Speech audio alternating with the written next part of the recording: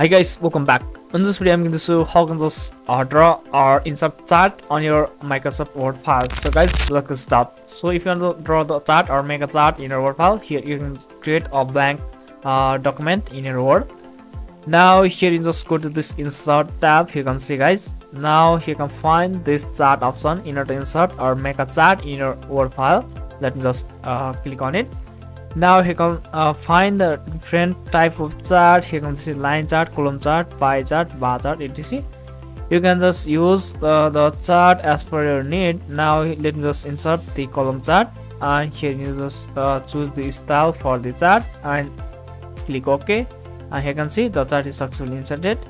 Now you can just uh, choose the title for this like this now you can also uh, name the label. Uh, let me just test it with input. And output and mix.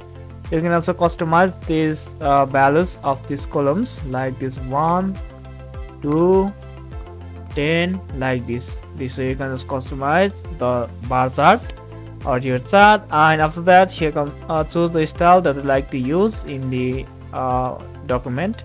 You can see like this way so guys this is the way how can just insert or make the chart on microsoft word so if this video makes a like and consider subscribing to my channel. I'll catch you guys in the next video